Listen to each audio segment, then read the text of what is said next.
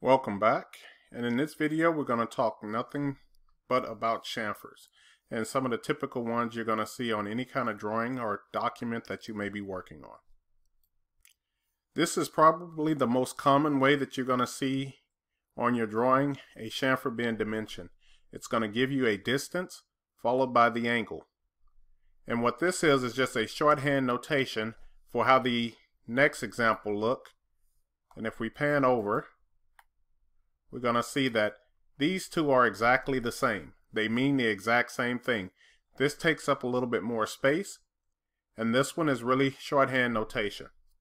What this means is that from this face to the back of the endpoint here is a distance of 1.25, and it's the exact same thing from this face going down to this point is 1.25, just like it's dimensioned here. Another common thing that you're going to see in drafting is that anytime you have a 45 degree angle, usually the length and the width that's going to dimension both of those should be the same. Okay, so let's go ahead and take a look at the next example. Another way you may see that it is dimension is you're going to have a 45 degree angle and you're going to have a distance. Now, this is probably a least common way, but you can imagine if there's some things going on, on above this image, that you can do this to save you some space. But if you go ahead and type it in and it looks like this, it means that once again the exact same thing as the first two examples. Just because of that simple rule that if it's a 45 degree angle, that the distance should be the same.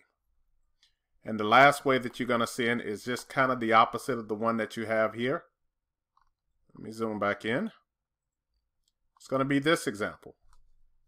So the first four that I showed you right now, they all mean exactly the same. One great benefit about those is that you can use the chamfer command in AutoCAD to go ahead and, and create those. Okay, I'm going to come down here to the bottom and I'm going to use these two example lines that I have just to show you how the chamfer command works. So if I go to chamfer, you can see by my command line I get two options. I can either use a distance or I can use the angle approach. Let's go ahead and use the distance one first. So I'll select distance and it's asking me to specify that distance from that first edge back to where that point should be. So I'll go ahead and type in 1.25 as my distance. Enter. Now it's going to ask me for that second distance. So the one that it's looking at is kind of reminding you of it's kind of creating this. So if I go ahead and type in 1.25, or if you see that in the brackets, you have the 1.25 already there, which means that AutoCAD is going to accept that if you just hit the enter button. So I'll go ahead and accept that one. Now it's asking me to specify the first line. Since these are the same, it doesn't matter which order you select these in. So I could select both of those lines and you can see that that chamfer is created. The next way it's going to do is uh, we're going to take a look at the angle approach. So we're going to go back to the chamfer command. I'll select angle. And the first thing it's going to do is say, hey, give me a length from that line. So once again, depend on which line that you're going to select first.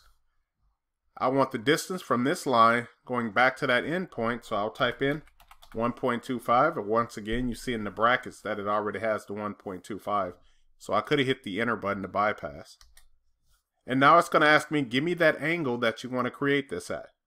So if I type in 45 and hit the enter button, you're going to see that it's ready now for me to set up. And the first line that I picked is going to be the one that is going to set the distance to and the angle. So once I select this line and then I select this line, you're going to see that it will create the exact same thing.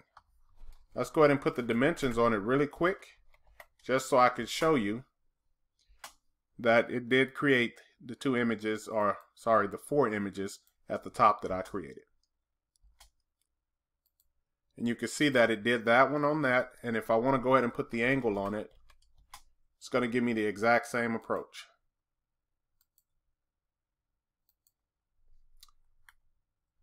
Okay, if I go back and I take a look at this example, you're going to see things are a little bit differently.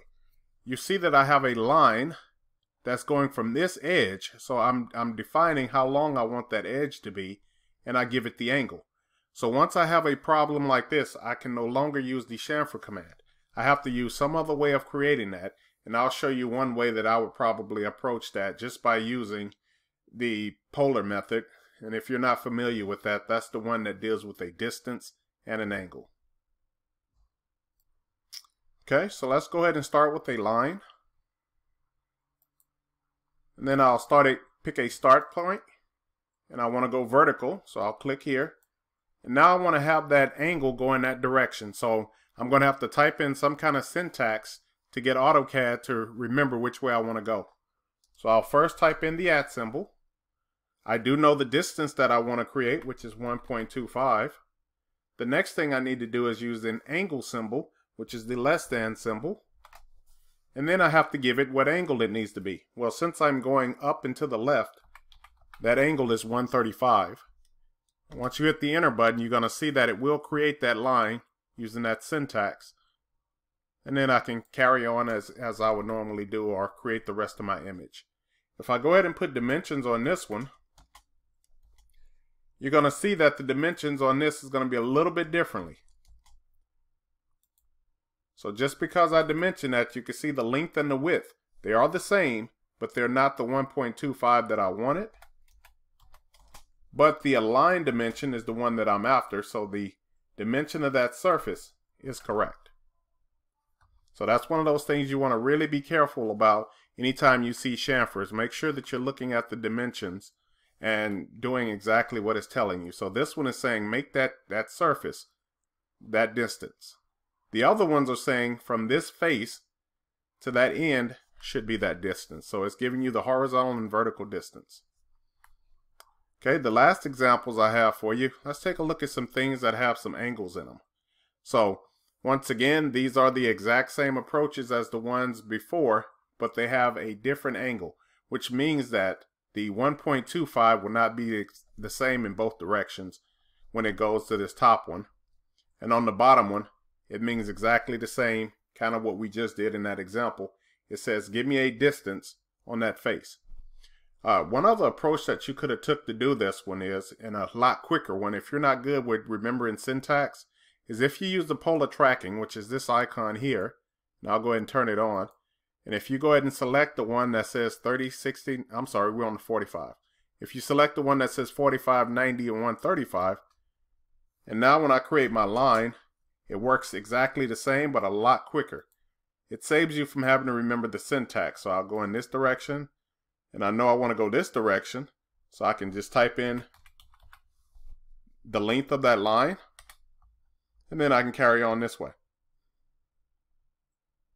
So this approach is totally fine to creating the distance of that surface. So once again, remember that I cannot use the chamfer command. Okay, so let's go ahead and take approach with these ones that have the 30 degrees. I'm just going to draw a line here and I'm going to create kind of a straight edge. And then I will show you how the chamfer command works on this one. So in this first approach, I can use the chamfer command. I can go to chamfer. I'll select the angle approach because that's the only one I have. I don't have the distance of my other line or the hard, the vertical distance. So I'll select angle. It's going to ask me, give me that distance, which is still that distance from that face going back. So I can type in 1.25, which is fine. And now I have to give it the angle. In this case, I'm going to give it 30 degrees. So once you type in 30, now you have to tell it which line that you want to affect. So in, in general, it's asking me, I want to change this line. I want to move this endpoint back 1.25. And then from that point, draw me a line going down 30 to connect to that line. So once I select that line and then I select this one, it will give me that angle. On this bottom approach, I have to use kind of some things that I did before. So we can go through the syntax like we did, or you can always use the polar tracking method, which is a lot simpler and it'll save you from the hassle or the headache of trying to remember what angle is where. So if I select this method and I went and selected the 30, 60, 90, I'll start the line command. Start a line from here. I'll go up, whatever distance. And now this is where I want to go ahead and, and, and rotate it up. So I, I'm going straight horizontal from this direction. If I come up and it's going to click one time, that's going to be the 30 degrees that I need. Then I'll go ahead and type in the length, which is 1.25, enter. And then I'll go this way and carry on out my dimension. Okay, so once again, I want to caution you and make sure that you're reading the dimensions correctly. Make sure that you're knowing what dimensions that you need and how you're going to go about applying that. And I hope this was helpful for you, and I will definitely see you in the next video. Thank you for watching.